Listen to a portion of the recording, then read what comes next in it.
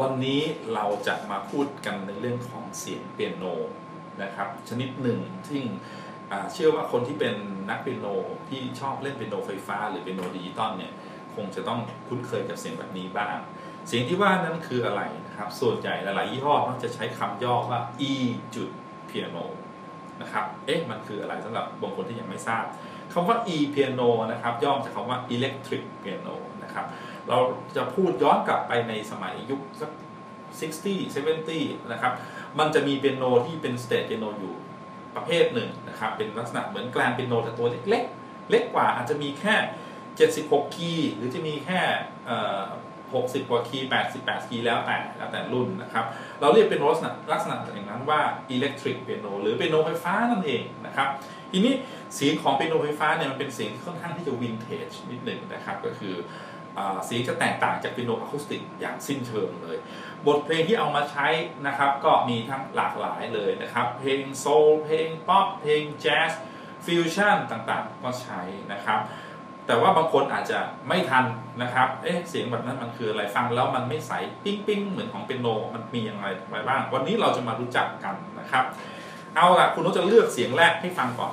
ถ้าเป็นภาษานักดนตรีเนี่ยเขาจะเรียกว่าเสียงเปียโน Rhodes อ่าเปียโน Rhodes มันคืออะไร คือย้อนกลับไปสมัยยุคนั้นเนี่ยนะครับ ถ้าคนที่นึกภาพออกมันจะมีเปียโนไฟฟ้ายี่ห้อหนึ่งนะครับได้รับความนิยมมากเลยก็คือ Fender Rhodes นั่นเองครับเสียงของ Fender Rhodes เนี่ยก็จะเป็นลักษณะของลิ่มคีย์นะครับที่กดลงไปแล้วมีค้อนเปียโนไฟฟ้าที่มีค้อนแล้วค้อนไปทำการตีซ่อมเสียงข้างในตัวเครื่องนะครับ เสียงที่ออกมาก็จะเป็นเสียงแบบคุนๆอย่างนี้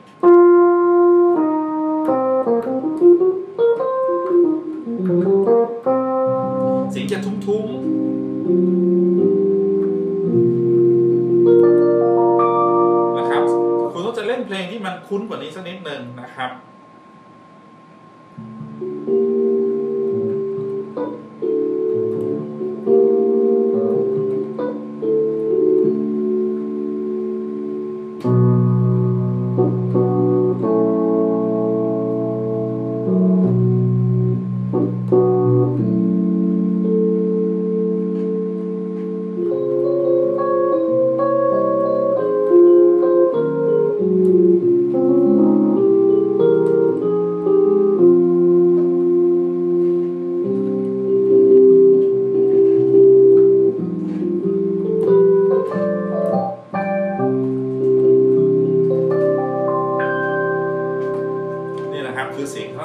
เสียงเปียโน Rhodes นะครับที่ภาษาอังกฤษชอบเรียกกันว่าเสียงเสียง Rhodes เสียง Rhodes นะครับทีนี้เสียงเปียโนในในเปียโนไฟฟ้าแต่ละรุ่นแต่ละยี่ห้อก็อาจจะมีมากมาย หรือน้อยแตกต่างกันไป มีเอฟเฟกต์ลูกเล่นต่างๆ ก็ว่ากันไปในแต่ละรุ่นนะครับ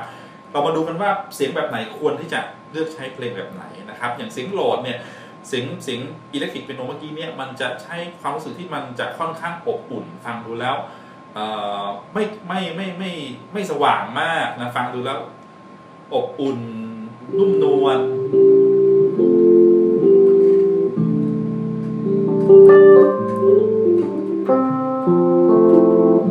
แต่ขณะเดียวกันก็อาจจะมีเสียงเป็นโนอีกประเภทหนึ่งที่มันสว่างใสขึ้น โทนเสียงจะแตกต่างกันแบบนี้นะครับ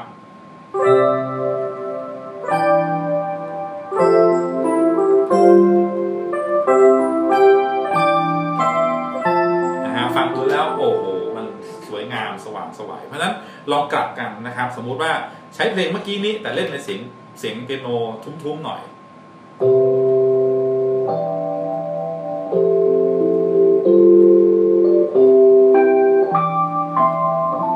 ก็ได้อีกอารมณ์หนึ่งนะครับที่น่าสนใจทีเดียวนะครับ หรือเสียงเปียโนในตำนานนะครับ อย่างเช่นเสียง DX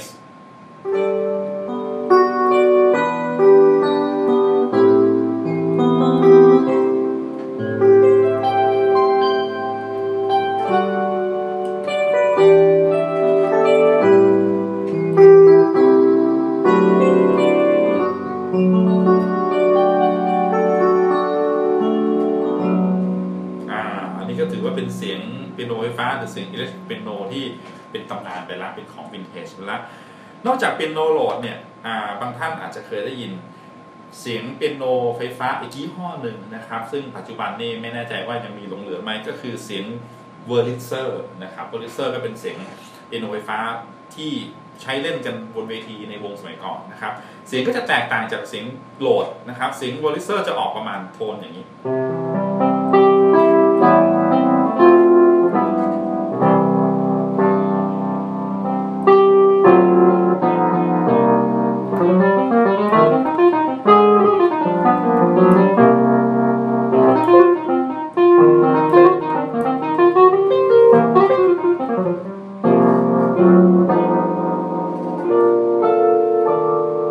ก็ขึ้นอยู่กับเราจะเลือกใช้แบบไหนนะครับอ่าคุณโน้ตยกตัวอย่างสมมติว่าอยากจะเล่นเสียงแบบเนี้ยแต่เป็นเพลงที่มันสนุกสนานสักนิดหนึ่ง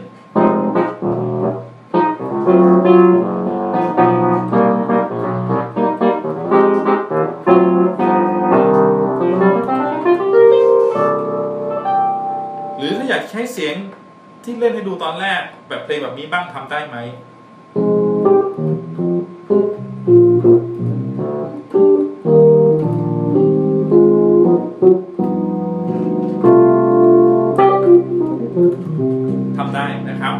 สียงต่างๆนั้นจะมีทัชชิ่งที่แตกต่างกันไป เราเล่นเบาจะอาจจะได้โทนเสียงแบบหนึ่งเราเล่นหนัก